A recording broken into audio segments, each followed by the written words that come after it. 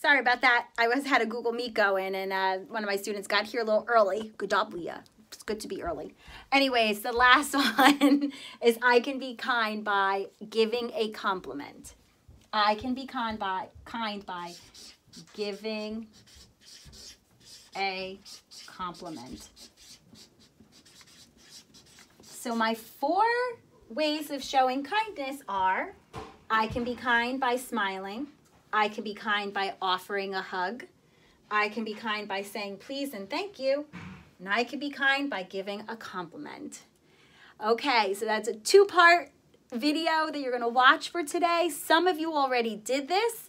If you did this already and you plotted your ideas of what we're to use for our poem, great. You can just go back and check for capital letters where they belong, um, periods at the end of the sentences, and do your very best with spelling. If you want to go back and check your spelling or have mom or dad check your spelling, you can.